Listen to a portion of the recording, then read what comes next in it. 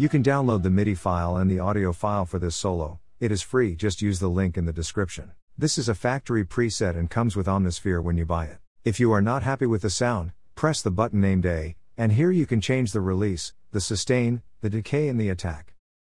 Listen how the sound changes and manipulate it how you want. Then you can press button B and do the same. Press on FX and change that delay as you like it to sound. Usually the feedback is too long, or you can turn this effect off and use what delay you like from your DAW. I hope this was useful. See you next time and please press that like button so YouTube will recommend this to other people. Thank you.